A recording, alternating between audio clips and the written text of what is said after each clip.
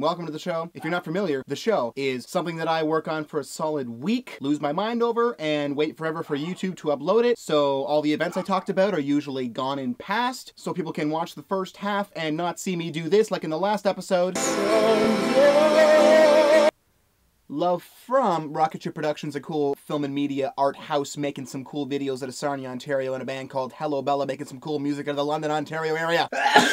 first things first, I have not been doing a lot, Sarnia, but I have been working on the new Marinol Nation music video for the Music W-H-O-R-E. Take a hit, take a line, got lost until four.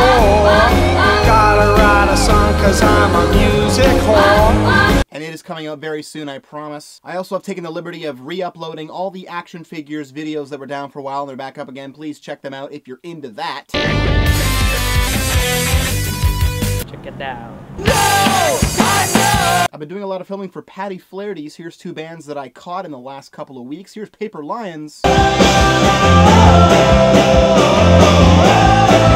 And here is Michael Bernard Fitzgerald.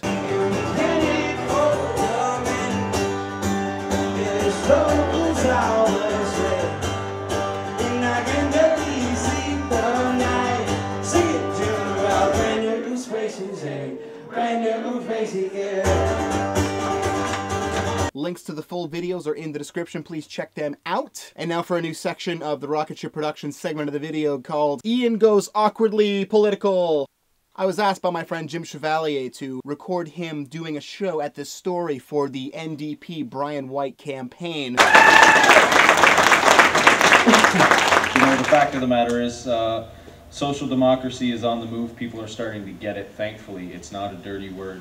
When you're talking about the New Democratic Party, you've got a party that even the Government of Canada recognizes has the most responsible fiscal platform of all of the parties, ahead of the Conservatives. The party that has run more surplus budgets with the smallest government while still maintaining social programs that benefit everybody. Yay politics and NDP! I really don't want to get into this because I don't want to admit that I'm too stupid and uneducated to talk about politics with you, so here's Jim Chevalier. and the sad twilight is fading into the black.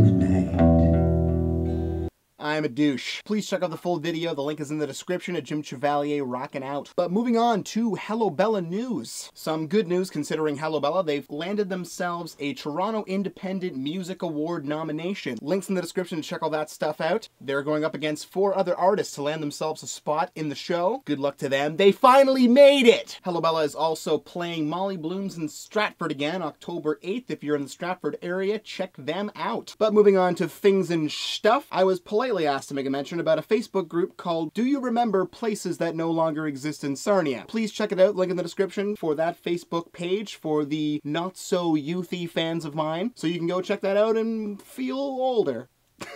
Pissing off my fans like it ain't no thing. I'd also like to let you know about our new show planning society happening in Sarnia. Dying Scene Productions are now a thing, adding to the list of all the other people that are putting on shows in this town, which is great and you should know more about. Dying Scene Productions is putting on a show at Cupper's Cove Tuesday, October 11th with the bands Baby Eagle and Grey Kingdom. Opening up for them a huge line of artists, including Marty O'Block and some of the kids from Rent. Be sure to check that out. And also, if you're still interested in seeing some of the performances from Empty Spaces Harvest Fest a while back, here's a little straggler that didn't make it up onto YouTube until now, Thirsty Fish performing at The Story.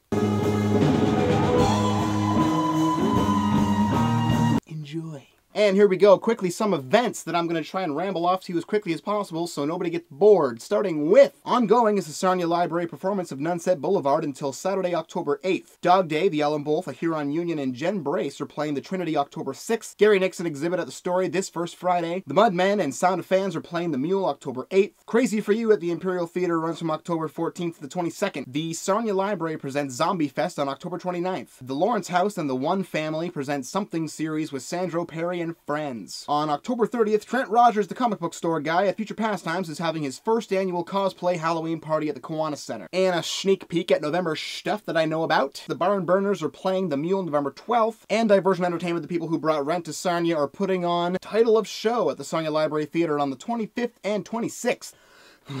Alright, now for everyone's favorite segment, I Like You. Starting off with Stardust Book Lounge! Take a look at the book that I found. There's no reason this season for in this round. Yo, Billy Joe will turn that frown upside down.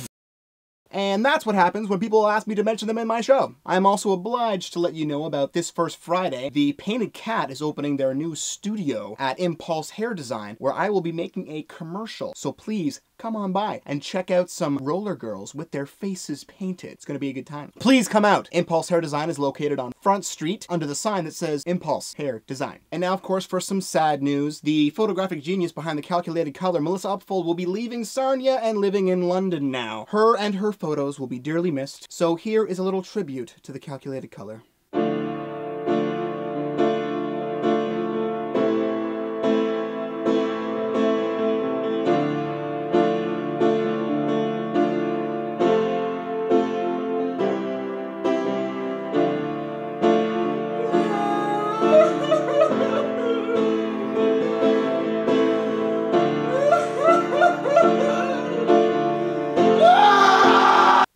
Going to delete me from her Facebook friend list for that one. And now moving on to a sub-segment of the segment I like you, to a segment I like to call There Are Other Filmmakers in Sarnia Trying to Do What I Do. The filmmaker I'm talking about today is a step closer to a Huron union, not the band, but the union that is Sarnia and Port Huron. Hopefully one day we can all get together and do stuff. I'm talking about Randy Randall. He's a YouTuber from Port Huron. He comes over to Sarnia a lot because he likes the entertainment scene. And here's a clip of one of his videos. You know why Justin Bieber got that hair? I'm gonna let you in on this. This is why he wears the hair. He kinda got something to hide. It ain't like he's got a third eye under there or nothing. Underneath all that hair, got a swastika just like one of these. Carved it in there himself. He didn't know the music thing was actually gonna pop and happen. Hell no. He was just drunk and up and all that in Canada. That's all they do. Go sit in the parking lot of Wendy's and drink wine. Link in the description of his YouTube channel. Please feel free to check out his videos. Very funny guy. Speaking of very funny guys, there is another mustache video on its way or up by now whenever this video gets uploaded by YouTube. Well, hello again. He used his mustache as a flint to start a fire.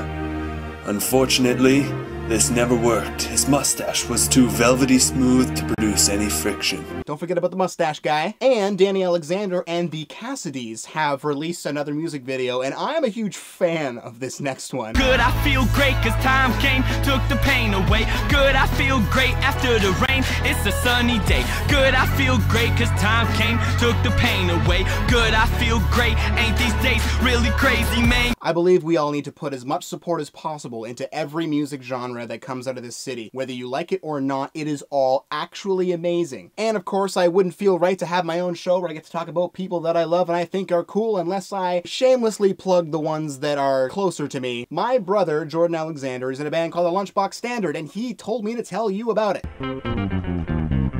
Jordan Alexander, Tyler Johnston, and Brandon Flaminio are a funk rock band, and they got a few gigs coming up that may or may not be included in the description.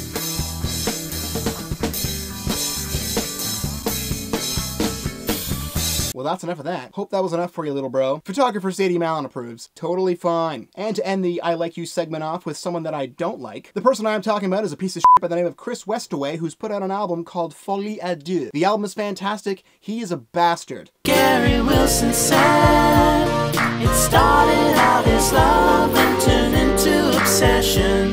Girl, I'm your possession and pet. I hate you, Chris Westaway. Download his album. Link in the description. Well, if you made it to the end, congratulations. If you skipped to the end, good on ya. Uh, if you haven't made it to this part, then my apologies. You know, I do this for you, Sarnia, because I love you. I just wish that I could somehow express my love for this town. I just wish that there was a way that I could